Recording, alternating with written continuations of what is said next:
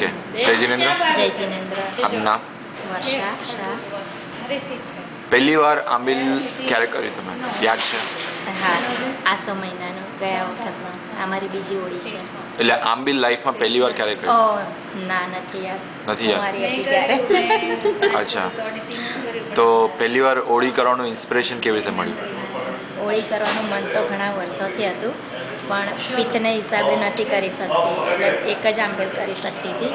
તો છેલ્લા સાત વર્ષથી ખાલી વિધિ જ કરતી હતી સિદ્ધચક્રજીની એટલે નૌપતજીની અને પછી સમહાવ અંતરાયકરમાં તૂટ્યા હશે અને લાસ્ટ મહિનાની હોળીમાં ટ્રાય કરીને.